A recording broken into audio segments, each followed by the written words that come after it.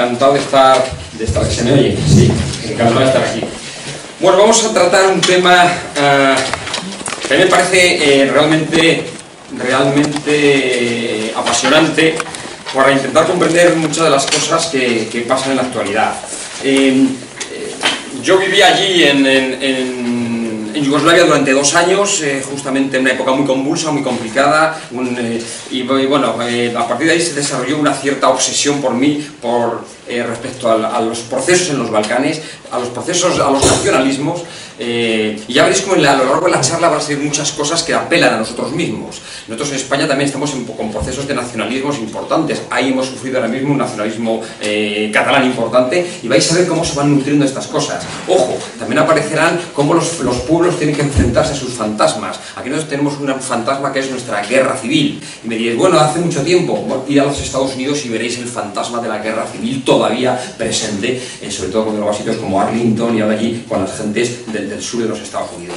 Eh, y luego nos asomaremos un poquito y llegaremos a ver cómo todo esto influyó en la, está influyendo en la situación actual, que es la, presencia de Putin. Es un tema complejo. Decía eh, Churchill que los Balcanes generan tal cantidad de historia que son incapaces de digerirla. ¿Sabes de lo que estamos hablando? Una zona del mundo que genera esto. Segundo, Bismarck, allá por el, hace ya eh, bueno, más de ciento y pico años, dijo, alguna vez, algún día, todos nos mataremos por alguna estupidez que ocurra en los Balcanes.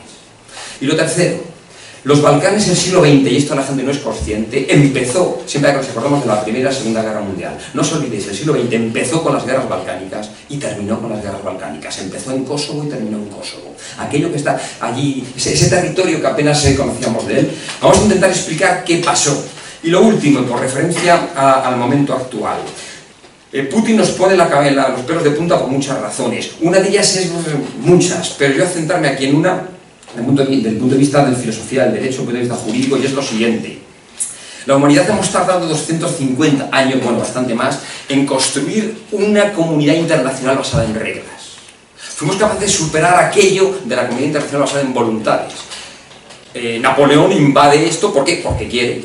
Alejandro Magno invade aquello, ¿por qué? Porque quiere. Todo eso intentamos solucionarlo. Y con mucho trabajo, muy costosamente, hemos creado poquito a poquito nuestro tesoro. Hemos creado una, eh, una comunidad internacional basada en normas y no en las voluntades o en el capricho del que manda.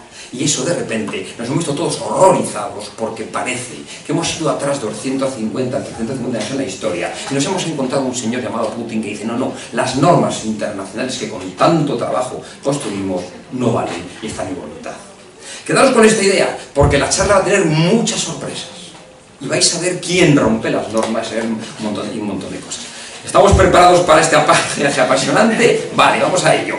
Me va a costar, es difícil, es un tema complejo, pero vamos a ver si lo podemos explicar. Eh, bueno, empezamos. Vamos a hablar de los Balcanes. Los Balcanes es esta península que veis aquí en crema, en la parte de abajo. Como es un pedazo importante de, Europa. Y eh, allí hubo una, una nación eh, llamada en Yugoslavia, que es esta que veis ahí en colorines, estaba formada por seis repúblicas, que eran Eslovenia, Croacia, Bosnia-Herzegovina, Serbia, abajo Montenegro y abajo del todo Macedonia. Y dentro había, dentro de Serbia, dos comunidades autónomas, Kosovo, comunidad autónoma, y eh, Vojvodina, comunidad autónoma. Seis en un estado federal, el estado federal yugoslavo. Muy bien, esto estaba así perfectamente en el año 1990. Bastaron 10 años, solo 10 años, para que este país saltara hecho pedazos. Pero de una manera brutal. De aquí salieron 7 países, pero no solamente eso. Este proceso fue un proceso descomunal. ¿Por qué? Porque ocurrió, primero, el primer genocidio que ha habido en Europa después de la Segunda Guerra Mundial. Segundo, el mayor asedio a una ciudad que ha habido en toda la edad moderna. Cuatro años una, ciudad asediada.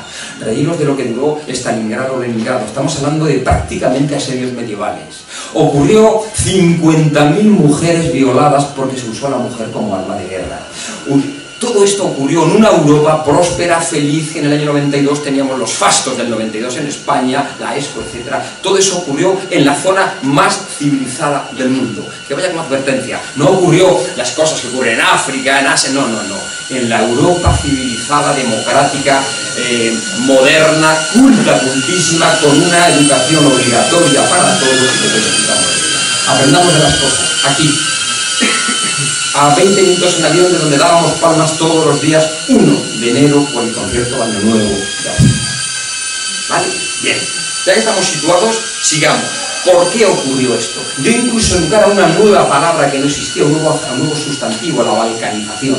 Balcanización es cuando algo se rompe en muchos pedazos y queda, eso es la balcanización. Esto fue el proceso de balcanización por lo que ocurre en los Balcanes. Bien, pues vamos para allá. ¿Qué pasó aquí? ¿Qué pasó en, esta, en este territorio para vivir lo que vivimos? Pues mirad, eh, allí había mucha gente viviendo, vamos a simplificaros, esto es muy complejo. Básicamente tenemos a los albaneses, que eran descendientes de los antiguos ilirios, era como los iberos en España, los que allí estaban, ¿vale?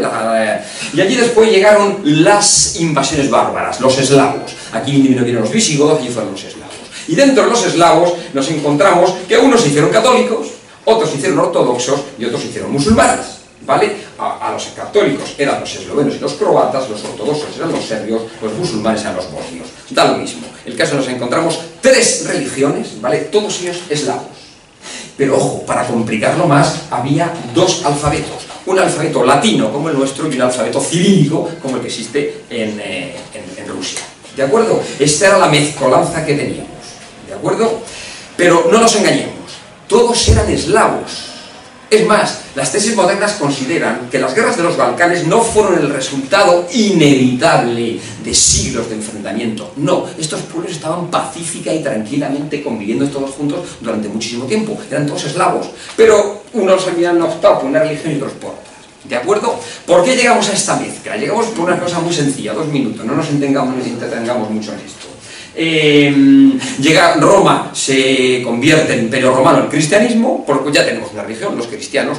Un poquito después llega el cisma de Occidente, ¿recordáis? La separación de Bizancio de Roma. Y llegan los ortodoxos, ya tenemos otra segunda religión. Tercero, dos señores llamados, llamados Cirilio y Metodio, los dos monjes, llegan con el alfabeto cirílico. Pues ya tenemos otro alfabeto, tan fácil como esto, por lo cual unos optaron por una religión, otros por otra, y allí estaban todos juntos, tan tranquilos, viviendo cada uno con su religión. ¿De acuerdo? Hasta que ocurre. Y ocurre que llegan los otomanos, llegan los turcos. El 28 de junio de 1389, de repente un ejército otomano aparece en las puertas de, eh, en los Balcanes. Y entonces, ¿qué hacen? Todos estos, que eran vecinos todos, se deciden, se unen para luchar contra los turcos. ¿Qué pasa? Que pierden los turcos ganan. Y a partir de ahí empieza una dominación gigantesca de 500 años bajo la dominación otomana. Y ese fue el principio o el final de todo, según queráis verlo. ¿Por qué? Porque aquella fecha, 28 de junio de 1389, queda grabado en la memoria de los serbios como el momento en el que dejaron de ser, en el que dejaron de existir, en el que alguien llegó y los tapó, mientras que el resto del mundo, el resto de Europa continuó ininterrumpidamente con su construcción. Los españoles descubrimos América, hicimos muchas cosas, igual que los franceses, que los ingleses, que el imperio austrohúngaro, pero estos estuvieron soterrados bajo el imperio turco. Con la peculiaridad de que a los turcos no les interesaba unificar todo esto. A ellos lo que les interesaba cobrar sus impuestos, tanto los de dinero como los impuestos de sangre, los niños, los famosos niños que les tenían que entregar, aquellos miles de niños que tenían que entregar, sobre todo en la zona de los Balcanes, entre 8, 14, 15 años, y después se convertirían en los genízaros y tal. No entremos ahí, es un tema muy interesante lo de la entrega de los niños que los lanzaban a ser la, guardia pretoriana del sultán y llegaban a... Bueno, no, no nos vayamos por ahí, vamos a lo nuestro. Eh, pero les daba igual con lo cual se mantuvieron las religiones, se mantuvieron los, las jerarquías, las costumbres, todo se quedó congelado durante 500 años y nada evolucionó de ningún tipo. Simplemente que algunos de los que estaban allí, los albaneses, los indios, decidieron convertirse al Islam y también los que estaban en la parte de Bosnia decidieron convertirse al Islam. Esa fue un único cambio, ¿de acuerdo? Pero ahí estaban todos viviendo tan tranquilos, evidentemente enfadados. Ellos querían salir de aquella, de aquella opresión del turco. ¿Qué ocurre? Pues que empiezan las revueltas. Y en el siglo XIX, el gran siglo de los nacionalismos, empieza a haber revueltas machacadas de una manera brutal por los turcos para acabar con ellas. Hasta que al final llega el siglo XIX, eh, perdón, el siglo XX. El siglo XX empieza con las dos guerras balcánicas que os dije, que son, bueno, esto es, eh, bueno, el imperio turco y tal, eh, el siglo XIX nos encontramos con esa es la distribución prácticamente que existe con el, con el en aquel momento la distribución dentro de,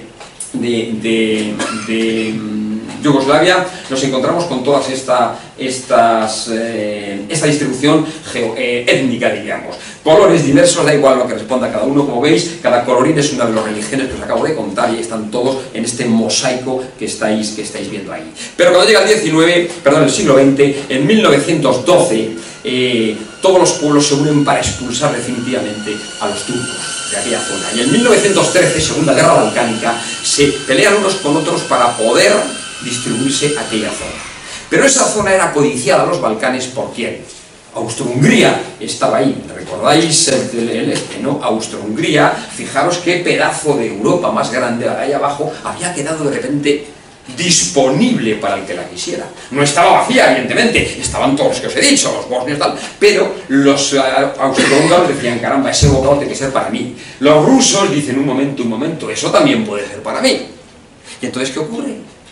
Que no consiguen, por mucho que Austria-Hungría intente someter a Serbia, intente anexionársela, no puede. La tapona le pone a Albania, crea a Albania justo antes de la Primera Guerra Mundial, un país nuevo que generan los austrohúngaros austro para asfixiar a Serbia, para dejarla dentro de la península sin salir al mar, para poder algún día darle el bocado gigantesco. ¿De acuerdo? Pero no consiguen. Y entonces, al año siguiente, en 1914, el heredero del Imperio Austrohúngaro, Francisco Fernando. ¿Recordáis la famosa visita que hace a Sarajevo y que es el detonante que genera la Primera Guerra Mundial? Él llega a Sarajevo a visitar Sarajevo y allí le pegan un tiro. ¿Quién le pega un tiro? Un nacionalista harto del Imperio Austrohúngaro que no les está dejando existir y constituirse en nación. ¿De acuerdo? ¿Qué día eligió el emperador, el hijo del emperador, para visitar Serbia? El 28 de julio de 1914. ¿Recordáis el 28 de junio? Justamente aquel día de la humillación que sufrieron todos. No pudo elegir un día más doloroso, más terrible. El día que perdisteis todo con los otomanos, aquí estoy yo, porque vais a perderlo todo, porque para eso estoy yo el imperio aquí. Evidentemente pegaron un tiro, ahí lo entiendo, Gabriel Príncipe, aquel nacionalista le dijo, se acabó lo que se daba. Y aquello que ocurre, que Austro-Hungría dice, te doy un mes a Serbia para que me digas quiénes son los que han hecho esto te doy un mes y si no, te, me tienes que dejar que mi policía entre, que busque a los culpables y tal. Y le dicen los serbios, oiga, mire, yo no puedo dejarle que entre usted aquí, yo puedo buscar a quién ha sido, pero esto es una humillación contra mi soberanía. Un país extranjero no puede mandar tropas y policía a mi país a buscar a alguien, ya lo haré yo. Y entonces dicen los húngaros, pues lo siento, le declaro la guerra. Evidentemente, los rusos se unen con los serbios, son ortodoxos los dos, lenguaje, eh, alfabeto cirílico los dos, eh, y se sienten muy hermanados, como todavía hoy Putin se siente muy hermanado con, con, Serbia. En definitiva, estalla la Primera Guerra Mundial en los Balcanes. 28 de junio, aquel fatídica fecha. ¿Cómo termina la Primera Guerra Mundial? Pues termina con los 14 puntos de Wilson, el presidente norteamericano dice que los Balcanes hay que resolverlos, y él aporta en aquellos famosos 14 puntos que, él presenta en, el, Congreso de Versalles, que pone fin a, fin la Primera Guerra Mundial, él dice que esto tiene que resolverse en base al principio de autodeterminación. Os suena a Cataluña y suena el principio de que los pueblos voten y tal. Al final, ¿qué consiguen? Consiguen al menos todos ellos generar un país al que se denomina el reino de los serbios, croatas y eslovenos. Esto es, el reino de los que están allí. Todos estos que llevan 500 años allí, pues allí siguen, ¿no? Por lo cual, pues el reino de todos los que estaban allí, perfecto. Después se llamó Yugoslavia. Yugoslavia es Eslavia, Yugo del sur, los eslavos del sur, el país de los eslavos del sur. Allí seguían todos juntos. Ojo, bien avenidos, repito, había pequeñas diferencias, no grandes diferencias. No pensemos, hay autores que consideran que no, pero la mayoría consideran que aquello era una zona en la que se convivía pacíficamente. ¿Vale? Todo eso lo que pasa llega a la Segunda Guerra Mundial y en la Segunda Guerra Mundial empiezan a complicarse las cosas. ¿Por qué? Porque Hitler decide que los Balcanes se los va a quedar él. Y entonces toda aquel, aquella Yugoslavia que existía se rompe, aquella desmembrada, y la zona de Serbia, perdón, la zona de eh, Croacia, que es esa que veis ahí, esa, es la Croacia, Croacia, eh, ahí hay un señor que se llama Ante Pavelic. ¿Alguien ha oído hablar de Ante Pavelic? Sí, para que no los conozcáis. Hitler estaba en Alemania en Croacia había un señor que se llamaba Ante Pavelic, que era un dictador, bueno, un, nazi como Hitler, que él dice, no señor, si ahora que es el momento, Hitler está aplicando sus mecanismos en la zona de Alemania para eliminar al que le sobra. Pues yo aquí, ahora ha llegado el momento de que nosotros, los croatas, generemos un país católico, mm, nacional, eh, fascista y el problema es que toda esa parte que veis en rojo son serbios. Nada, aplicarlo las mismas soluciones que Hitler. Vamos a eliminarlos a todos y se acabó lo que se daba. Entonces el señor Antepaveli, amparándose, aprendiendo los métodos del señor de, los alemanes, empieza una limpieza étnica absolutamente monstruosa en toda esta parte, con los mismos mecanismos. Sus campos de concentración, sobre todo uno de ellos que se llama el campo de concentración Jasenovac, donde empiezan eh, cámaras de gas, etcétera, pero con una brutalidad descomunal. Él tenía que librarse de toda esta gente para hacer un Estado étnicamente puro, croata, y existir finalmente. Después de la invasión de los turcos, vamos a crear Croacia. Va a existir un país llamado Croacia, donde vivimos los croatas. Y en ese proceso de destrucción, ¿qué hace? Eliminar a la gente, pero eliminarlos con una brutalidad tremenda. Él decía a en los campos de concentración que los serbios mueran muy lentamente. Lo importante es que sus alaridos se oigan a kilómetros de distancia. Y en eso se, eso se dedicaron, con una hazaña impresionante. Cuando uno de los generales de Hitler vino a visitar los campos de concentración, dijo que era un epítome a la brutalidad, que se habían quedado cortos los alemanes viendo lo que estaba haciendo ante Pavelic en, en Croacia. Tenía, lo que pasa es que me ha fallado el PowerPoint y he tenido que inventarme aquí uno sobre la marcha. Ahí lo tenéis, efectivamente. Este es el señor Antepaveli. Incluso ellos diseñaron, como para degollar serbios, aquí en la cama de cargas, y iba muy deprisa, diseñaron un, cacharrito, bueno, son las masacres que hicieron, que es ese cuchillo raja serbios, es que lo que hace tiene esa cuchilla abajo, es un guante, y entonces rápidamente con un movimiento de muñeca podías... hay las crónicas, no están contrastadas, pero dicen que incluso había por las noches, había, había días en que por las noches hacían concurso de que era capaz de degollar a mayor número de serbios en una noche, y por ahí están puestos. Incluso hay algo muy desagradable, este señor que lo fue a visitar a Ante Pavelic en curso Malaparte. Pasa que curso Malaparte es un hombre peculiar y tal, y dice que un día estando allí había una, bombonera en, la, en, la, en, el despacho de Ante Pavelic y le dijo, anda, que dice, ábrelo, ábrelo, y él lo abre y quita la tapana de la bombonera y había una cosa gelatinosa y dice, hombre, ¿tienes caviar? dice, no, es un regalo de mis sustachas, de mi régimen, de mis soldados. Son ojos de serbios que los tengo ahí para hacer Bueno, con esto os cuento quién Ante Pavelic, evidentemente, eh, pierde, ¿por qué? Porque un señor llamado Tito, en la Segunda Guerra Mundial, los partisanos de Tito, apoyados por la Unión Soviética, crean sus grupos partisanos y ganan la partida, ganan la, guerra, y Ante Pavelic tiene que huir y largarse. Se va. ¿Se va a dónde? ¿Alguien sabe dónde está Ante Pavelic? ¿Qué fue de él? Rusia. No tenemos ni idea. ¿Estáis preparados para una buena noticia? Para una vamos, impactante. Vale, empezamos, empezamos. Ante Pavelic se va primero a Argentina y en Argentina se refugia allí. Y allí se queda protegido en Argentina, eh, bueno, con muchos otros jerarcas y tal, pero un día, claro, había grupos serbios y judíos buscándolo para... para y la metrallan al más puro estilo, eh, Corleone, el padrino, en la puerta de su casa, él consigue entrar, me han dado, es lo que dice, y tal se dan cuenta que está a punto de, liquidarse y tienen que huir. Tienen que buscar un sitio para salir. ¿Dónde lo llevamos? A España. El régimen de Franco dice, vente para acá que yo te recibo.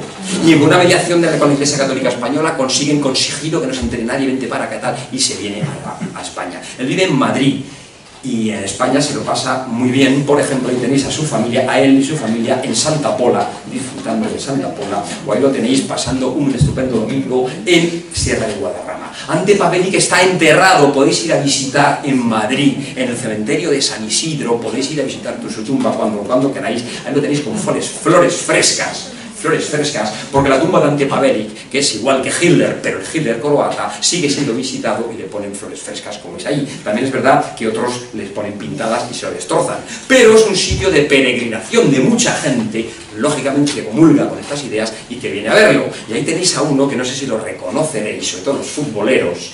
Lamento que tenga el agua esa, pero es que no he podido conseguir una foto mejor. ¿Sabéis quién es? Davor Zucker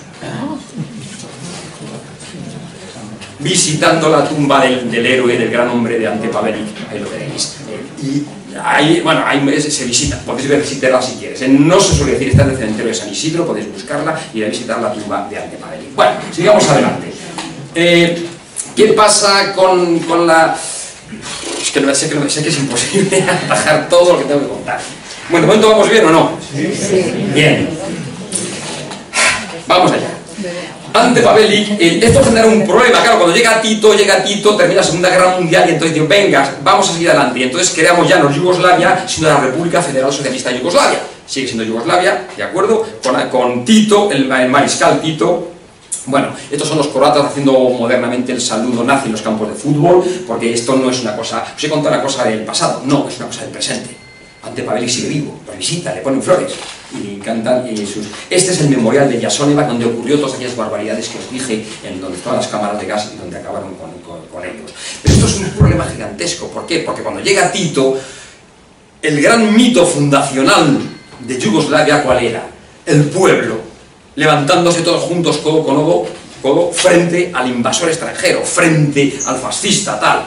Pero esto se le rompía, porque los ustachas, ante Pavelic, los croatas, lo hicieron solitos no fueron los alemanes, ellos solos, por lo cual ya no me valía el mito fundacional de todos juntos frente al extranjero, no, porque ella parte del pueblo lo hizo. Esto incomodó muchísimo, y sigue incomodando, ya estamos con los problemas, de dónde vengo, quién soy, estoy dispuesto a aceptar mi historia de la que vengo.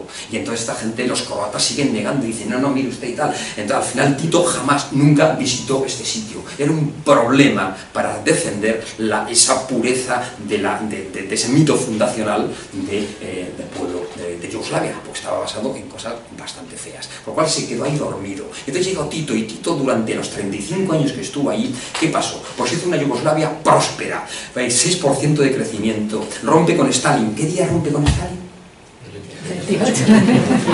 El 28 de junio de 1948 llama Tito a Stalin y le dice, me rompo contigo, sabéis que se enfadaron. Se acabó, voy a hacer un comunismo diferente, voy a hacer un socialismo con rostro humano, que dijo, voy a hacer la tercera vía, voy a hacer un, un socialismo autogestionario, descentralizado, no se va a parecer nada al soviético. ¿Le funcionó? Sí, muy bien 6% de crecimiento anual en un pueblo próspero. A Yugoslavia se podía ir y venir y visitar, a, diferencia de lo que ocurría con los demás países del telón de acero. Los grupos de rock yugoslavos eran espectaculares, después de los británicos dicen que eran los, mejores. El deporte que os voy a contar, nosotros que somos amigos del balonmano en esta ciudad, ¿No recordáis aquella final de la Copa de Europa, el Atlético de Madrid contra la, la, la metaloplástica de Yugoslavia, el Estrella Roja de Belgrado, las Olimpiadas, aquello prosperó, se funcionó muy bien, perfectamente, pero un día muere Tito y muere en el año 1980. ¿Y entonces qué pasa? Que entonces pasa que se dieron cuenta que aquel país estaba fundamentado, Yugoslavia siempre se ha dicho que está fundamentada sobre tres miedos. El miedo a los ustachas, a los croatas, ante Pavelic. El miedo a los comunistas y el miedo a la policía secreta. Esos tres miedos mantuvieron a Yugoslavia unida. Pero ¿qué había pasado? Que aquel país nunca hizo lo que debía haber hecho. Mirar frente a frente a sus fantasmas, ver de quiénes son y solucionar sus problemas. Tuvo que haber el qué, pues un proceso de reconciliación, unos procesos mm, de, de, ¿cómo se llaman?, de la verdad, yo participo en algunos países en procesos de la verdad, en donde tú pones todas tus miserias encima de la mesa y te enfrentas a lo que hiciste, lo que eso no se hizo. Ojo, que cada uno piense si España lo hicimos bien o mal, no voy a entrar ahí, pero es interesante ver eh, que, cómo cada uno resuelve sus cosas, ¿vale? Aquí tenemos nuestro fantasma de la guerra El problema es que si no lo resuelves y si no te enfrentan a ello, los fantasmas te están esperando. Igual nos pasa a los seres humanos. Lo que no resuelvas, las preguntas que se dejes sin resolver, volverán 10, 15, 20, 40 años, pero aparecen. Siempre aparecen las preguntas esperando sus respuestas. Pues aquí pasa lo mismo.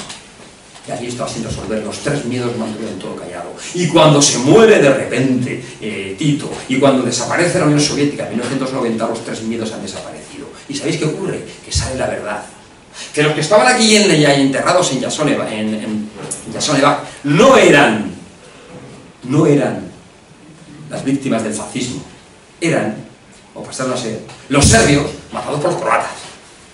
Se nota la diferencia, ¿no? Porque fue la verdad, fueron los serbios que los mataron los croatas. Lo que pasa es que durante 30 años se le llamó víctima del fascismo. ¿Me veis la diferencia? El relato empieza a cambiar. Yo ya, ya soy serbio, no, no, no, ¿qué víctima del fascismo? Yo, porque han pasado nada más que 35 años, todos, mayores de 35, yo me acuerdo que tú entraste a mi dieta, que me mataste, que hiciste tal, que nos deportaste, que nos mataste, que con el cuchillo aquel se llamaba Raja Serbio, o se te ha olvidado, amigo croata. Empiezan los fantasmas a aparecer. Y empiezan los problemas, porque entonces los serbios dicen, no, no, no, un momento, pero me tienes que reconocer. Dice, yo no, eso es un mito, es un mito, aquello no ocurrió de tal manera, aquello no pasó, ¿cómo que no pasó? Pero empiezan las cosas a complicarse. Y entonces en aquel momento sale un personaje llamado Milosevic. Pues nos hemos quedado atascados. ¿El técnico me puede ayudar con esto? Ya está. Bueno, ya está, ya está. Tito, ahí lo tenéis. Bueno, Yugoslavia hizo más cosas aparte. Fijaros el prestigio de Yugoslavia de la época, que os acordáis un movimiento que hizo Tito, el de los países no alineados. Aquel intento de romper la Guerra Fría, ¿recordáis? dice el movimiento de los países no alineados, aquellos que no eran ni comunistas ni capitalistas, ahí lo tenéis, estar enrabiada con Tito, lo reciben los Estados Unidos, en Irán, todo aquello se pierde. Al morir Tito, de repente aquel país se enfrenta a sus fantasmas, dan cuenta que era un gigante con los pies de barro, se dan cuenta de muchas cosas. Slobodan Milosevic en el año en 1989 decide que no, que él no va a jugar al juego aquel, en el que de repente no se está reconociendo que a ellos los mataron los serbios, que el genocidio serbio no se les reconoce y que esto no puede quedar así. Entonces en aquí empieza a construir una... Eh, la construcción nacionalista serbia, que nosotros somos diferentes, nosotros somos aquellos a los que se nos machacó por parte de los croatas, y esto se tiene que reconocer. No estamos dispuestos a seguir así. Y segundo, nosotros dejamos de existir el 28 de junio de 1389. Ha llegado el momento de que existamos. Yo tengo derecho, igual que existe Francia, existe Inglaterra, existe Alemania, Italia, los nacionalismos del 19 que crearon Alemania e Italia, ha llegado el momento de que Serbia exista, la Gran Serbia. ¿Por qué yo? ¿Es que no soy hijo de Dios? ¿Es que yo no tengo derecho a tener la Gran Serbia? ¿Es que yo no tengo derecho a que se me reconozca que se me masacró por los otomanos, por los austrohúngaros, por los fascistas, por los comunistas de Tito, y ahora, me va, bueno, ahora llega el momento de que yo exista. Entonces reclama que hay que crear la gran Serbia. Y todo empieza a complicarse, ¿por qué? Porque poco a poco, mirad, hay una cosa interesante, si queremos entender qué pasó en los Balcanes, tenemos que entender que más que el, que el, el enfrentamiento entre siglos que no existió, era el miedo a quedar, a ser la minoría dentro de un Estado. ¿Me explico? Ser tanto en el Estado Nacional de Yugoslavia como en los pequeños estados federales. Ser la minoría dentro de un Estado era un tema antipático. todos acabaron defendiéndose. No era tanto contra el otro, sino yo no quiero ser la minoría. Y para no ser la minoría tengo que existir independientemente. Y entonces tengo que marcar las diferencias. Tú eres distinto de yo y por eso no puedo estar en minoría. Tengo que ser yo. Distinto de mí. ¿Entendéis el juego? Los nacionalismos son tremendos. ¿eh? Participaron en la creación de todo el horror que vamos a ver a continuación, participaron muchas cosas. No solamente este, este, estos nacionalismos, sino también una pésima gestión por parte de los políticos locales y, ojo, de la comunidad internacional también. Y ahora veréis la conexión con Putin que tiene, que tiene eh, todo esto. Ahí tenéis el meeting que da eh, mm, Slobodan Milosevic en el campo de los Mirlos. El campo de los Mirlos fue el campo de batalla donde lucharon los turcos, los otomanos, yo me acuerdo nosotros atravesamos esa, todos los días que trabajar con nuestros vehículos blancos de las Naciones Unidas, atravesamos esa esplanada grandísima para ir a nuestros puntos de trabajo. Bueno, pues ahí, en el campo de los Mirlos, Milosevic da un gran meeting, que es el, el, el, pistoletazo de salida de todo. ¿Sabéis qué día dio el gran meeting?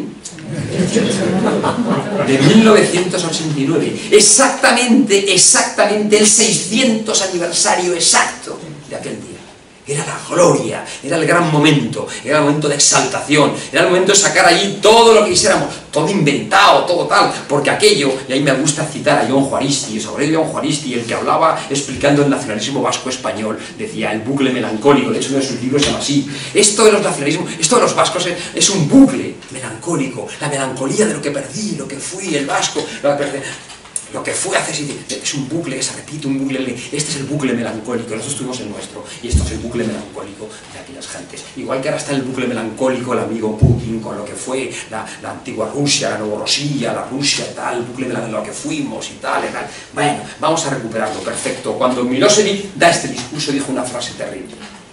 Vamos a crear la gran Serbia, y no nos lo va a impedir nadie. Si alguien intenta romperla, nos opondremos, y si es necesario, por las armas. Y entonces empezó todo. Bueno, empezó, había empezado antes con ante y matando a los seres y tal. ¿Y qué ocurrió? Empezaron los problemas. Todos quisieron irse. Al momento los eslovenos dijeron, yo no quiero jugar a este juego, este juego a mí no me gusta nada. Me largo. Eslovenia era la más uniforme, a ver cómo os llevo yo aquí, no sé si me lo podría poner. Eh, no. Bueno, Eslovenia era la más... Bueno, eh, si no que hemos quedado lo dejamos, lo cuento y ya Bueno, mirad, Eslovenia era la más uniforme de todas, con lo cual no hubo problema, eran todos, con lo cual una, una guerra que duró apenas apenas unos días, 60-70 eh, muertos y Eslovenia se independiza. La siguiente fue Macedonia, también al sur del todo, es muy homogénea y las cosas funcionan, en un nuevo problema. Pero después llega Croacia. Croacia era esa, y en Croacia nos encontramos que toda la zona blanca de arriba era zona croata. Pero toda la parte marroncita de abajo era la zona que intentó limpiar ante Pavel y la de los serbios, ¿lo recordáis? Y entonces Croacia dice, eh, eh, un momento, un momento, a mí eh, yo, no, yo me voy a independizar y tal, pero los serbios dicen, ¿cómo que te vas a independizar? Y me voy a quedar yo siendo una minoría aquí, después de lo que me hiciste hace solo 40 años que están vivos todos los parientes de los que eh, los liquidasteis en aquellos que chillaran mucho para que se dieran sus gritos a mucha distancia, ni hablar de peluquín, no puede ser. Entonces los serbios dicen que no están dispuestos a ser la minoría dentro de una mayoría dentro de Croacia. Y entonces dicen, no, entonces estalla la guerra entre ellos. Esto, esto está muy simplificado, porque eso es complejísimo. ¿Pero qué ocurre? Pues que simultáneamente nos encontramos con Bosnia. Fijaros los colorines que hay allí. ¿Cómo organizamos esto? Dijeron, pues muy sencillo. Hay que eliminar al que no sea de mi color. Y entonces empieza la guerra. Bosnia era la más, fue la más, y sigue siendo, ya veréis cómo está esto hoy, porque lo interesante es cómo llegamos, esto cómo se ha resuelto, este follón. El puzzle empieza la guerra todos contra todos. Los bosnios atacan a los demás, los croatas atacan a los demás y los serbios atacan a los demás. El juego consistía en homogeneizar todo esto y dejarlo todo más o menos igualito para poder existir. Porque ya no solamente es la gran Croacia, la gran Serbia, sino todos quieren ser, crear sus propias naciones. ¿Me vais siguiendo o está siendo esto complicado? ¿O voy demasiado deprisa? Vale, gracias. ¿Qué ocurre? Las mayores atrocidades aquí, Sarajevo, Sarajevo era una ciudad que era una ciudad mayoritariamente bosnia. Es una ciudad metida en un valle rodeada de montañas. Desde las montañas los serbios machacaron sin piedad, sin piedad, cuatro años, le faltaron dos meses, cuatro años, el mayor sitio a una ciudad en la historia moderna. Y de pronto, sin piedad. ¿Qué hizo la Unión Europea? Nada. Nada. Eh, siguiente paso, mmm, Srebrenica.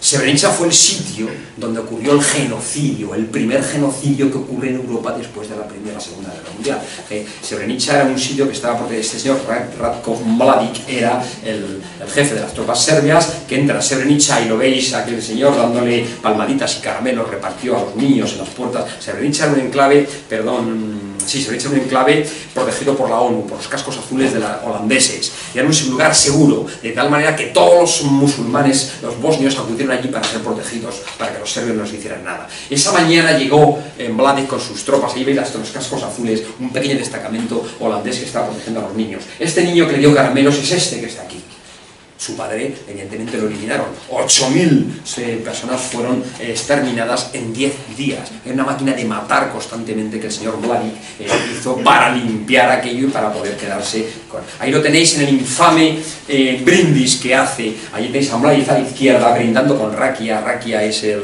aguardiente típico, ahí todos todos los días mismo Acaba, en, allí en, los Balcanes todos los días terminas con un vasito de raquia, vayas a donde vayas, siempre lo digo, vamos a brindar con raquia, bueno, pues con raquia brindar.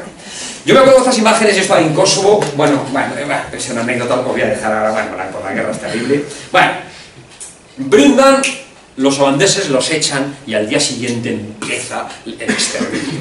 Y el exterminio lo hace junto con este señor Radovan Karadzic, curiosamente psiquiatra, igual que era psiquiatra, igual que era psiquiatra también es Slobodan Milosevic.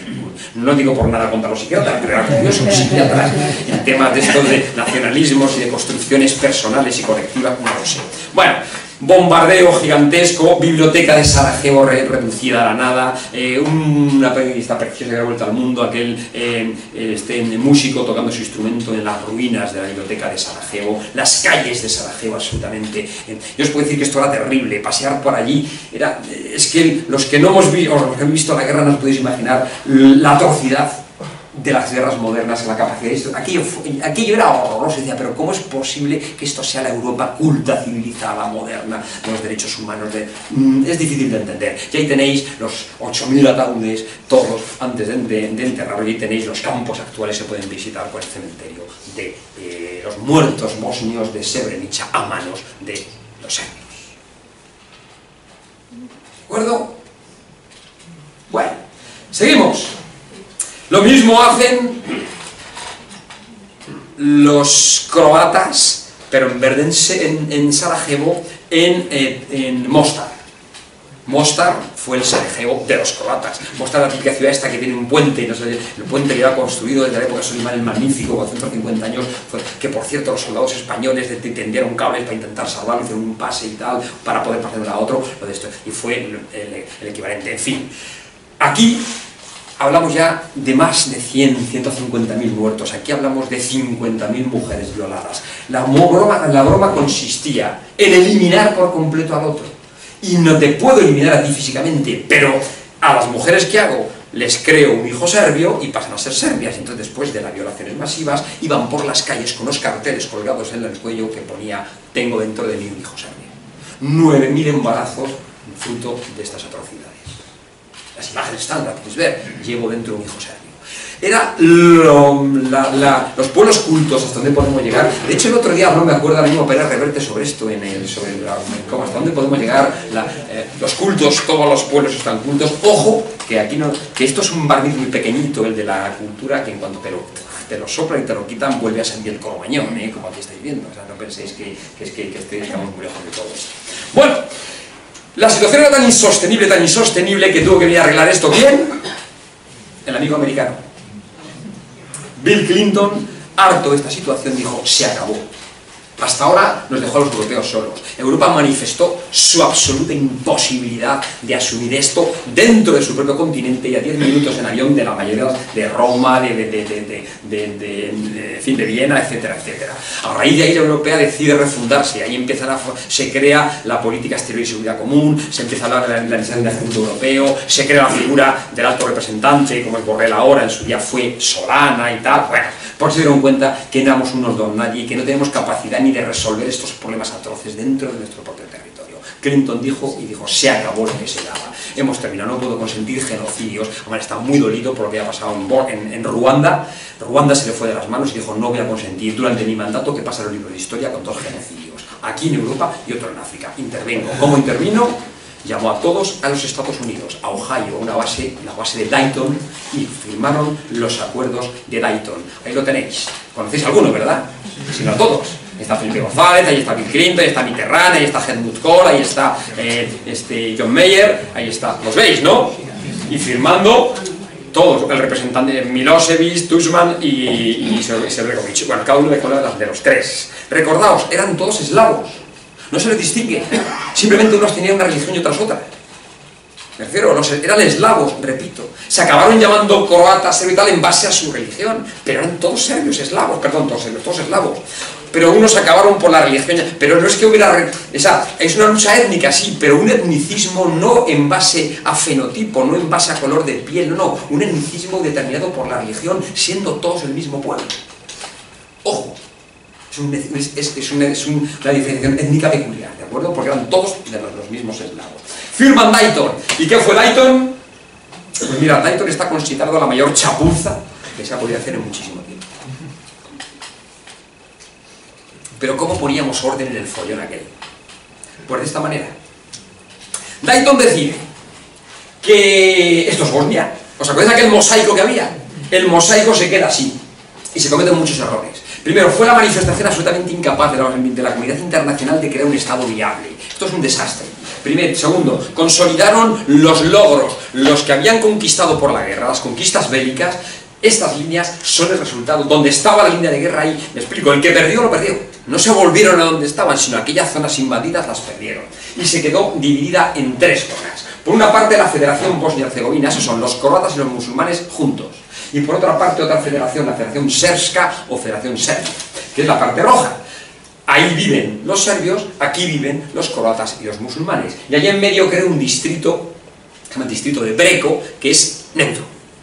Ahí están las tropas y ahí todo, esto se mantiene porque hay 600 soldados de la Unión Europea, una misión internacional, etc. ¿Y qué consiste la broma? Esto consiste en un desastre. Esto consiste en que rotan los tres, hay un presidente serbio, ocho meses. Ocho meses más tarde un presidente bosnio y ocho meses más tarde un presidente croata.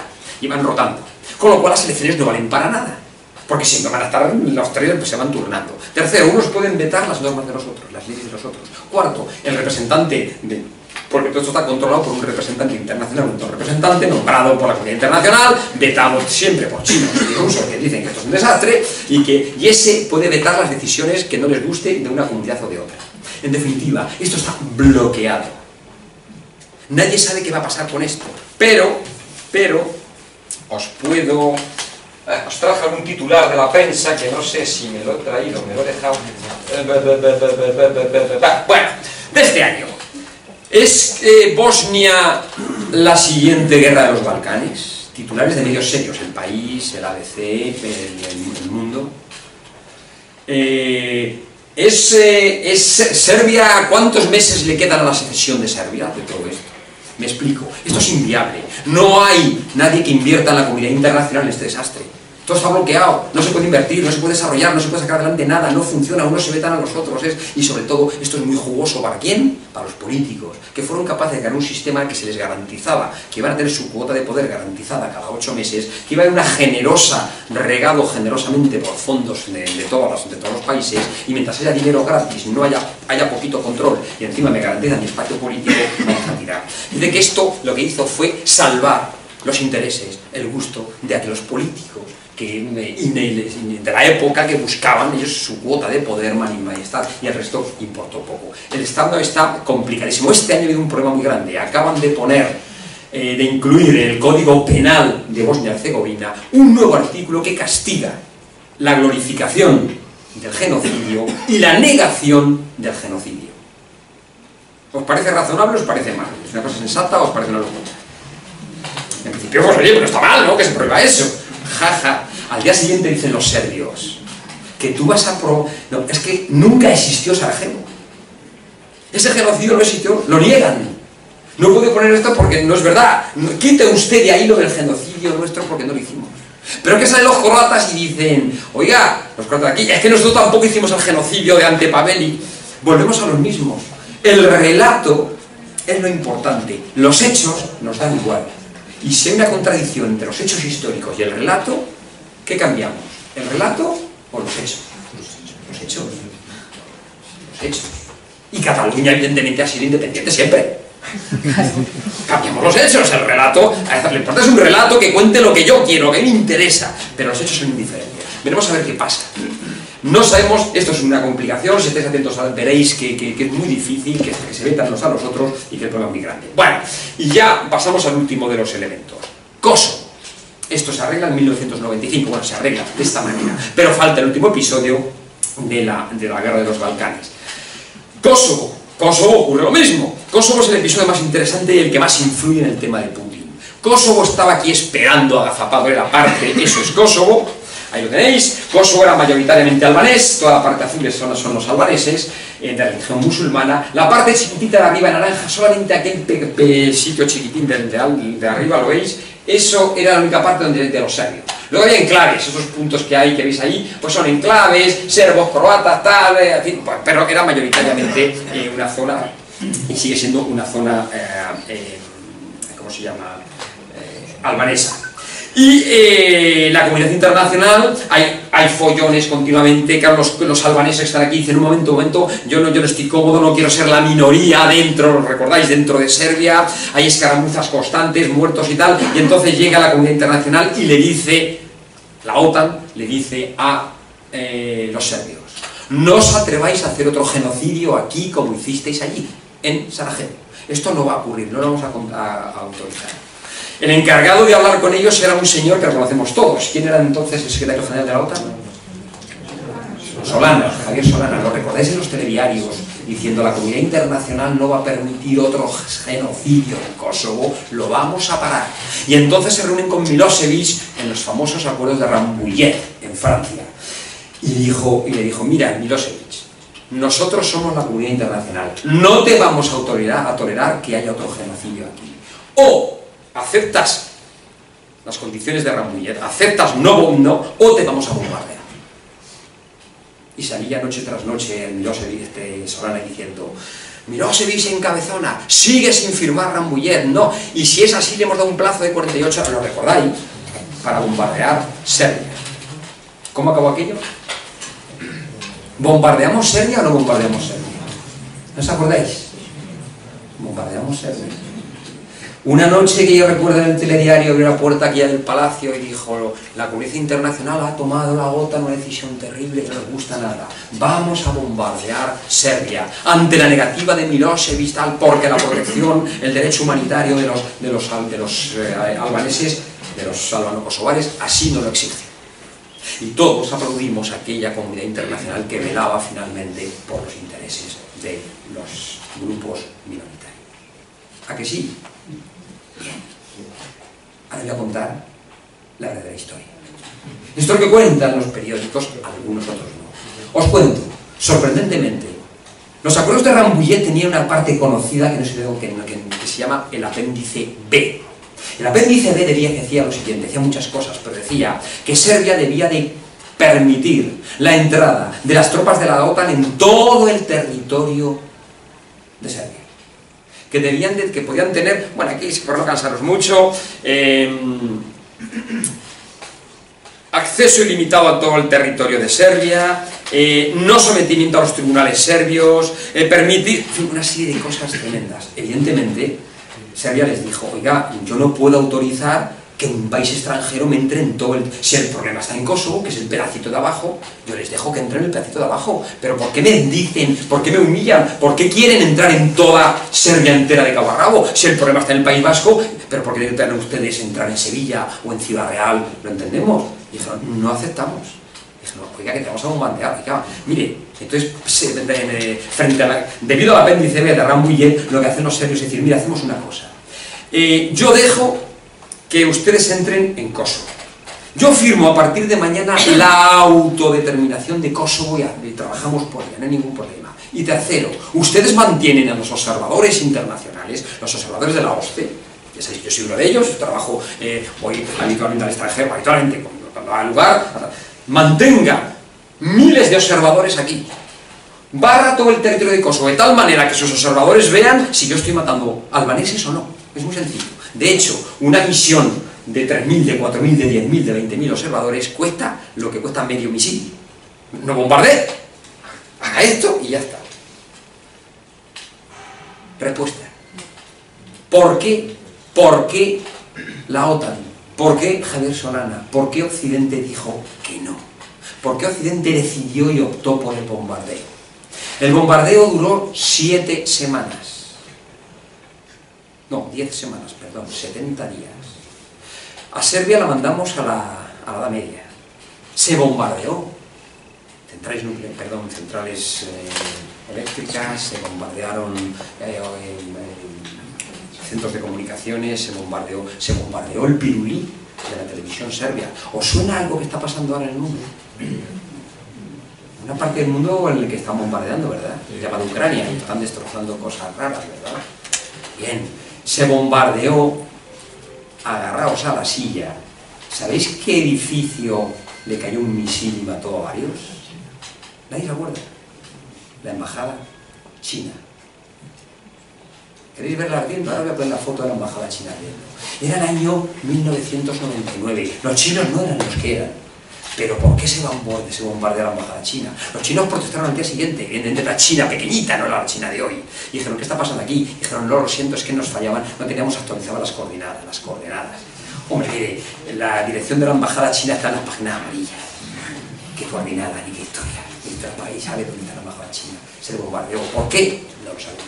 Pero lo podéis buscar en internet, está todo, todos los están en internet. Y sigue la pregunta, ¿por qué se bombardea? ¿Os lo cuento? Yo siempre digo lo mismo cuando hago estas cosas, digo, si yo me encontrara a Javier Solana, yo estaría encantado de decir, mira, de verdad, Javier, detrás de la puerta, donde nadie nos oiga, ahora que no... ¿Por qué bombardeasteis Serbia? ¿Por qué bombardeasteis Belgrado? ¿Por qué? Os cuento, los bombardeos empezaron el 27 de eh, marzo. El 27 de marzo, la misión de observación internacional, los observadores internacionales dijeron que aquí había habido nada más que 4.000, estaban nosotros cuando trabajamos, trabajamos como notarios, no solo un notario, nos dicen lo mismo, soy notario, soy los ojos del mundo. No intervenís en nada, aunque haya adelante, aunque estén haciendo una atrocidad, no intervienes nunca. Levantas acta. Yo siempre voy, nuestras armas son nuestros bolígrafos, y yo voy levantando acta de todo lo que va pasando, y luego lo reporto, me lo mandan Naciones Unidas, a Austria, que me haya mandado, y voy no más que reportar. Y luego, al día siguiente, los telediarios sabéis que salen, los observadores internacionales han dicho que las elecciones han sido limpias, tal. Esos son nuestros reportes que vamos haciendo barriendo un territorio. Bueno, pues habían reportados 4.000 nada más refugiados. ¿Sabéis cuántos había el día que terminaron los bombardeos? Diez semanas más tarde. 750.000 se puso una medalla a la OTAN, ¿eh? Si no hubiera habido bombardeo, no hubiera habido 750.000 eh, desplazados. Los muertos que se, que se contabilizaron por parte en todos los tiempos de los bombardeos superaron con creces a los, a los que había habido los tres meses anteriores a, a, que se decidiera bombardear. Y ya se consideró por la comunidad internacional que era inaceptable y que había que bombardear. Oiga, pues usted multiplicó por tres veces más los muertos de entonces. ¿Me puede decir entonces para qué bombardeó? ¿Cuál es la finalidad? Bien, os cuento por qué se bombardea. Lo que os voy a contar ahora no lo sabe nadie.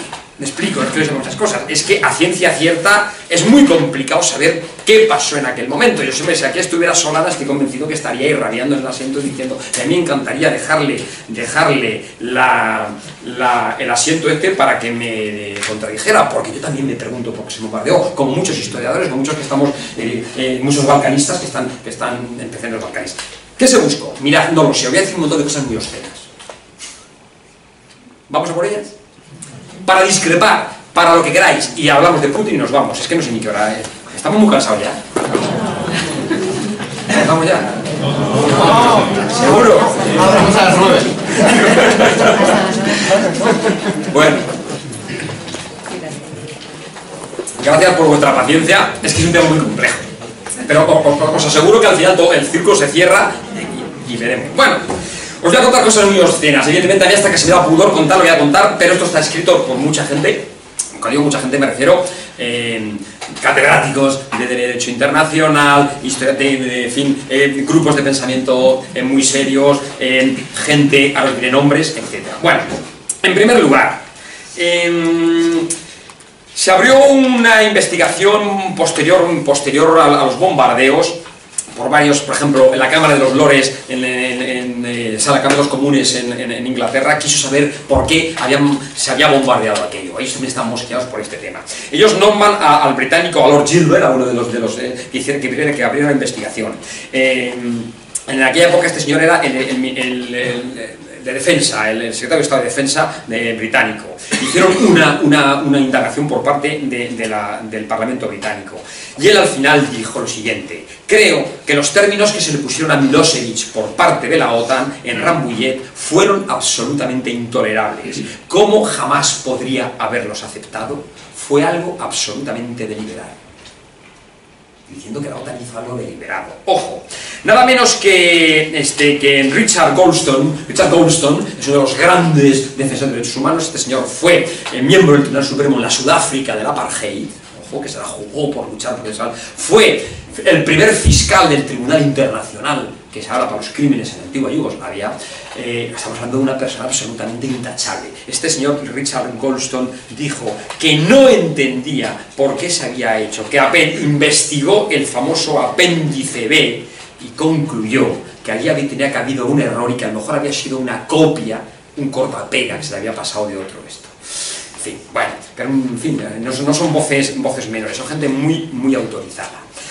Eh, por su parte, eh, bueno, varios catedráticos de Derecho Internacional, aquí tengo a, Fernández Buey, pero bueno, son muchos los que han escrito, como de este Fernández Buey, de la Pompeu Frabra, otros más que no quiero casar por nombres, hicieron un estudio del apéndice B, y dijeron que esto es una absoluta, una absoluta barbaridad. Y hay un texto absolutamente demoledor de eh, Antonio Remiro Brotón, sobre los grandes catedráticos, que dijo que aquello había supuesto la muerte del derecho internacional. Aquí tengo el artículo entero para el que lo quiera leer la muerte del derecho internacional. Ojo, estamos diciendo que no nos gusta nada, nada, nada lo de Putin que haya bombardeado porque es aquel mundo que construimos de normas, lo recordáis de repente, eh, para evitar un mundo basado en las voluntades, un mundo basado en el derecho. ¿Os acordáis que empezamos con esta frase? Bien, este hombre dice que esto fue el final, el final de aquel mundo.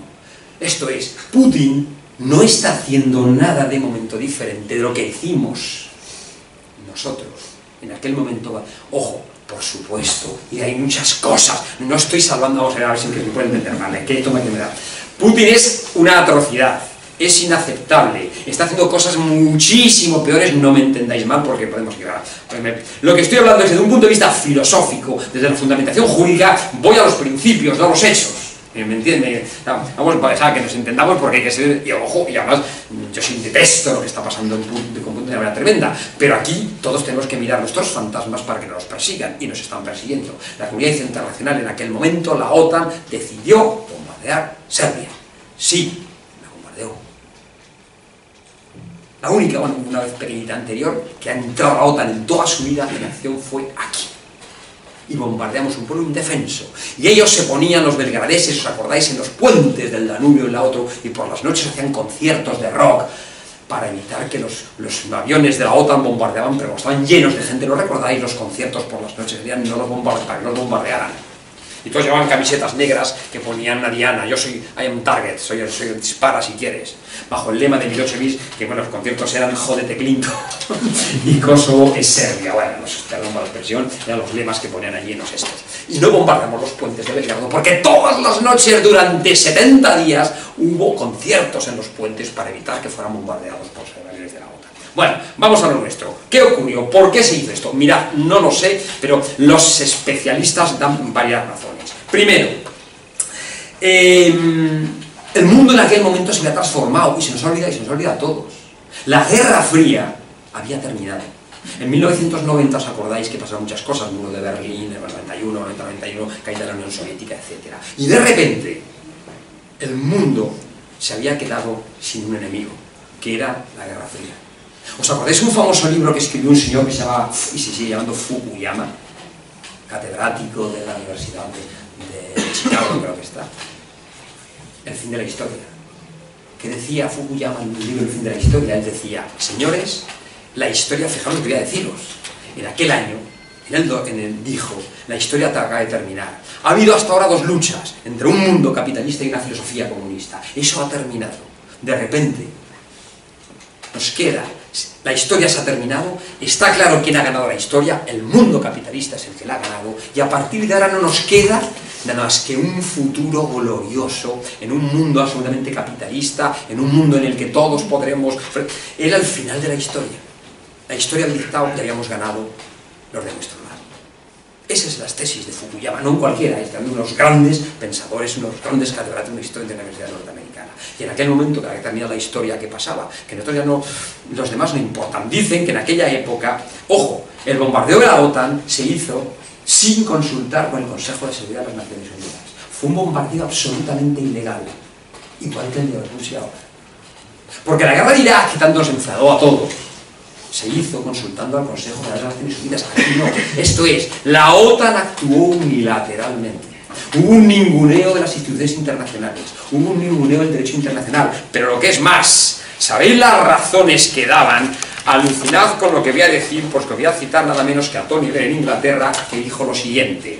El bombardeo sobre Yugoslavia eh, abriría una época de un nuevo humanismo, entre comillas, un nuevo humanismo, en que los estados ilustrados, nosotros, los occidentales, los que hemos ganado la historia, el fin de la historia, nosotros, los estados ilustrados, vamos a abrir una nueva época en la historia de la humanidad dirigidos por un internacionalismo que no volverá a tolerar la brutal represión de grupos étnicos. Era el, fin, el principio de un futuro glorioso en el que los estados ilustrados íbamos a velar por los países del mundo. Esto es, un grupito muy reducido de 15, 16, 17, 18 países, los íbamos a elegir en los policías del mundo y íbamos a evitar todas las atrocidades futuras. Era el nuevo mundo, era el final de la historia. No, el mundo es nuestro. ¿Se entiende? No necesito ni a la ONU. No necesito a nadie, ni a los chinos, los bombardeo para que les quede claro quién es el nuevo, el dueño del nuevo mundo que empieza a partir de ahora. ¿Me seguís? Eh, Ramiro Bretón escribió, este es el fin del derecho internacional.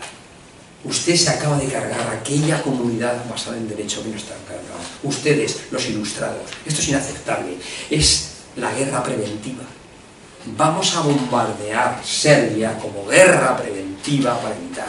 Igual que Putin bombardea como guerra preventiva a otro país para evitar. ¿Me explico? Que no lo comparto.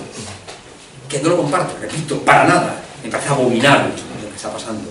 Pero ojo, también nosotros tenemos nuestros muertos a nuestras espaldas, nuestras justificaciones, repito, muy parecidas a las que tienen su día, y todas las financiamos con nuestros impuestos, aquella, aquel bombardeo de Yugoslavia. También se dijo muchas cosas. Se dijo que queríamos... Eh, ¿Os acordáis de Mónica Levinsky? ¿Os acordáis? ¿Os acordáis que a Clinton le hicieron un, impeachment, un proceso de destitución? A lo mejor también Clinton había que distraer eh, lo que estamos en los Estados Unidos y un buen bombardeo y un enemigo externo nos venía muy bien. A lo mejor también resulta que mm, la OTAN ¿Qué pasó con la OTAN después que se, que se cayó todo el mundo de la comunista? Que se quedó sin sentido. ¿La OTAN para qué se creó? Para defendernos frente a la, en la Guerra Fría frente a los comunistas, ¿sí o no? Y de repente la OTAN se quedó sin razón de ser.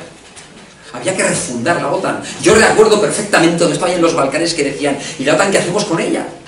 La otra son miles de millones, son miles de puestos de trabajo. ¿Qué hacemos con todo esto? ¿Le metemos fuego, lo, apagamos? Hay que buscar algo. Ya tenemos la solución. Vamos a ser el gendarme del mundo. Y lo vamos a demostrar con los serbios. Ojo, con los serbios. Era el nuevo humanismo. El que no iba a tolerar la represión de grupos. Seguro. Intervenimos bombardeando a Israel por las atrocidades cometidas contra los palestinos. No éramos, no éramos los no éramos los ilustrados de bombardeamos Turquía para el tema del porque masacró a los kurdos. A los pobrecitos serbios. Ojo, y a una Serbia, ojo, en mitad de todo esto, Yeltsin, el último suspiro de Yeltsin, estaba clamando por una solución negociada. No bombardeéis, vamos a hacer una solución negociada. Evidentemente, el mundo del futuro es nuestro, tú ya no, cuentas aquí y ninguneamos también a los, a los rusos. No, no, esto, esto, lo vamos a resolver nosotros, que somos los gendarmes del mundo, ni Consejo de Naciones Unidas, ni los Estados Unidos, perdón, ni los rusos, ni, ni esto nosotros. ¿De acuerdo? Vemos paralelismos, ¿verdad? Ojo, porque el tema es bastante feo. Pero ojo, ¿qué pasó también en el año 1990-91? La unificación alemana. Alemania volvía a ser la gran Alemania. Hay razones muy fundadas que decían que a Alemania no le interesaba un competidor en el norte. Una Yugoslavia unida, fuerte, era un enemigo complejo. Era mejor dividir todos. Y que a Alemania le interesaba atraer a su, ámbito de, de influencia a Eslovenia, rica, muy rica Eslovenia, y a Croacia. Con lo cual, eh, mejor mm, debilitar al, al, al, que puede ser el gigante del sur de, Europa, que no quiero tenerlo a mi lado. Digo que son cosas feas. Esto lo cuento no por especulaciones mías, esto podéis encontrar toneladas de libros. Estoy haciendo una síntesis de la labor de ahora de los historiadores que están trabajando, pensando qué pasó y qué ocurrió, ocurrió eh, allí. También decían que era la voluntad de no dejar a un loco suelto, como era Milosevic, bien armado, con un ejército potente y que había que laminarlo. También se dice que como acabó, como se dice, ya digo, gente muy seria, eh, había acabado la Guerra Fría. Había un montón de armas que ya no hacían falta. Vamos a usarlas, vamos a terminar con ellas. Tercero, cuarto, quinto, sexto, no lo sé. Era la nueva época en la que empezaba un nuevo armamento. ¿Cuál? Los misiles inteligentes. Antes eran los misiles balísticos, estos que se disparaban y caían, ¡pum! Y caían, ¡pum! Aquí no, aquí fueron la primera vez. El primer, la primer combate, la primera vez que se prueban en situaciones reales de combate las armas inteligentes, los misiles aquellos inteligentes que se fue aquí. Y se utilizaron contra Serbia. No sé cómo estará ido por ahí, pero yo me acuerdo pasear por las calles de Belgrado y era impresionante. Una calle como la Gran Vía, todo perfecto. Y el edificio exacto que querían bombardear, partido en dos, literalmente partido, el misil había entrado justo por mitad del edificio y lo había partido por la mitad. Quirúrgico, perfecto. El gran escaparate del mundo. Vean ustedes cómo funciona el maravilloso armamento occidental de ultimísima generación que podemos ensayar sin ningún problema frente a los serbios, el nuevo humanismo de Tony En definitiva, ¿cómo acaba esto? Serbia, me quedan dos minutos, Serbia se rinde, lógicamente a los 70 días la habíamos mandado a la media, no puedo más, se rinde y se firman los acuerdos de paz. ¿Sabéis lo que se dice en los acuerdos de paz? ¿Qué acepta la OTAN?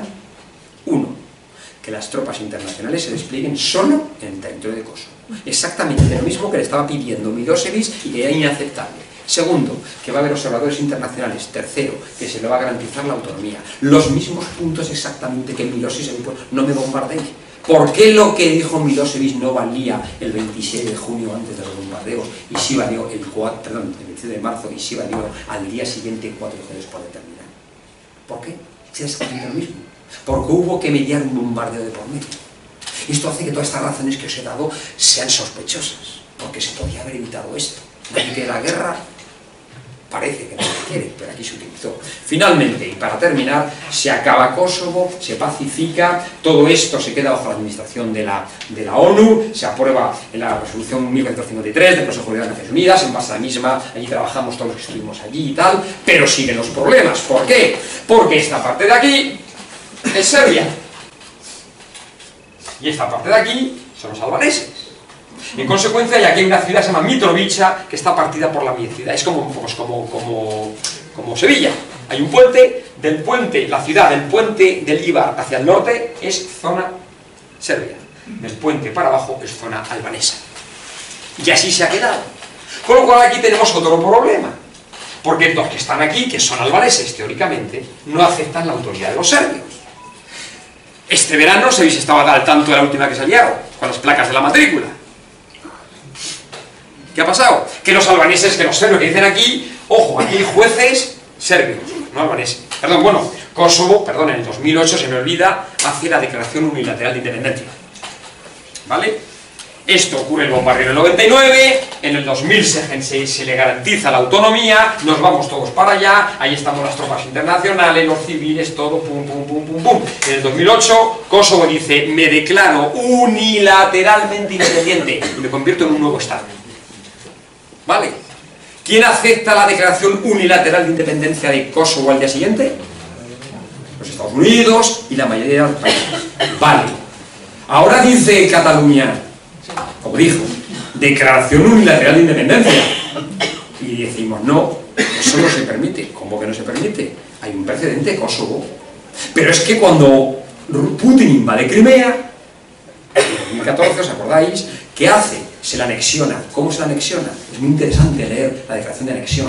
El Parlamento de Crimea dice en, su, en, su, en, la introducción, hoy reunidos aquí tal, y teniendo en cuenta antecedentes existentes, procedemos a la declaración unilateral. No me diga usted que si acepta a Estados Unidos la declaración unilateral de independencia de Kosovo y no acepta la declaración unilateral de independencia de Ucrania, de Crimea o de Cataluña. ¿Por qué no, amigo?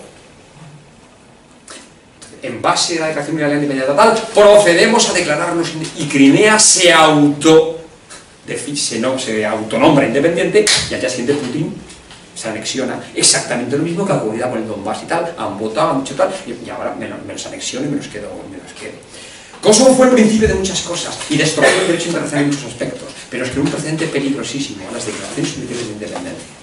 Entonces dice, en aquella época lo avisó Putin, el propio Putin, y dijo, ojo, estáis reconociendo una declaración unilateral de independencia que a mí me viene muy bien para, bueno, y, y es que no, quiero cansaros, tengo aquí más papeles que en la guerra, pero dijo lo mismo, me vale para Nagorno-Karabaj, me, vale para Osetia, me vale para Chechenia, me, vale, decía, ojo, puede servir para todos estos sitios. Años después, Chechenia, Nagorno-Karabaj, Osetia, eh, eh, Abjasia, todos estos territorios, Putin se los está anexionando y dice, oiga, hay un precedente que ustedes me dieron ¿Por qué? Porque al día siguiente de ocurrir esta extinción de la independencia, los serbios preguntan al Tribunal Penal, perdón, al Tribunal de Justicia de la Haya, al Internacional de Justicia, a las Naciones Unidas, y dicen, oiga, quiero que me respondan una pregunta. ¿Se ha violado el derecho internacional por parte de Kosovo? Pensad en Cataluña, ¿eh? ¿Se ha violado el derecho internacional por parte de Kosovo o por parte de Cataluña, declarándose unilateralmente independientes, sí o no? Y el Tribunal de la Haya de las Naciones Unidas se pronunció meses más tarde y dijo que no, que no se había violado ninguna norma internacional al respecto. Pero que no entraban, pero como se veían que se metían en un lío, dijeron, ahora bien, lo que no entramos en decir es cuáles son los requisitos que un territorio tiene que reunir para poder declararse unilateralmente independiente. ¿Me explico? No violó ninguna norma internacional, no es contrario, pero yo no sé los requisitos porque se metían en un follón de tres pares de narices. Y ahí en esas estamos. Con, termino, Bosnia atascada con ese mm, collage que habéis visto ahí, Kosovo, qué rabia, porque, oye, ahora que hacemos esto, movemos las fronteras, bajamos la frontera de Serbia, la recortamos hasta aquí. Mover fronteras es muy complicado están garantizados los, los follones futuros. África, que como sabéis, pusimos las fronteras los occidentales en los imperios. Hubo una propuesta hace como 20 o 25 años de suprimir las fronteras actuales de África, que partieron a las tribus por la mitad, que, desquiciaron aquello por completo, y volver a las fronteras naturales. ¿Sabéis lo que dijo la propia Organización de Estados Africanos? Que no Mire, las fronteras no las toque. Porque están garantizados los follones para torcer. Como toque la frontera, como mueva, como, como, el que antes estuviera aquí ahora pasa a ser del otro, como esto, volvemos a mover el follón. Con lo cual no toque esto. Vale, entonces ¿cómo lo resolvemos? ¿Cómo se resuelve el norte de, de Kosovo? ¿Me explico? Que está ese pegotito dentro de un país no reconocido por España. Sabéis que España no reconoce Kosovo. Bajo ningún, bajo Sánchez Sánchez un recorrido por los Balcanes y Kosovo no lo pasó. Sabéis que cuando el partido de fútbol que hubo hace unos meses de, de España, fue España contra territorio de Kosovo, pero se llamó, ¿no? Territorio de Kosovo. Porque nosotros reconocemos, evidentemente, no lo vamos a reconocer nunca ni China ni Rusia, porque reconocer Kosovo supone abrir toda la legitimidad desde el punto de vista jurídico para que Cataluña eh, lo haga. Bueno, deportaciones y la última imagen. El fútbol, en el fútbol, ¿por qué es el fútbol? Porque el fútbol es donde es el caldo de cultivo de todos estos nacionalismos, todo aquello de Milosevic, todo tuvo su origen en los partidos, en Estrella Roja de Belgrado, etc. Pero voy a terminar con un personaje, y es el último minuto de la charla. Ese señor que veis ahí, ¿veis al gordote ese que está ahí en medio? ¿Lo conocéis? El señor se llama Iván el Terrible. Es un hincha, un hincha de la Estrella Roja de Belgrado, un tío absolutamente exaltado que acompaña a la Estrella de Belgrado hasta donde sea, montando. Fue muy, muy famoso hace unos años porque lo detuvieron en todos los campos de fútbol del mundo entero, en España también. Se subía a las vallas, llevaba bengalas, metía fuego, etc. Y es un líder, está ahí rodeado de sus seguidores. Ahí lo tenéis detenido por la policía y lo tenéis con la cruz ortodoxa, pero lo que me interesa, esto es rabiosa actualidad, esto es ahora, es que os fijéis en el brazo de este señor, que pone 28. Y ahora os fijáis en el otro lado.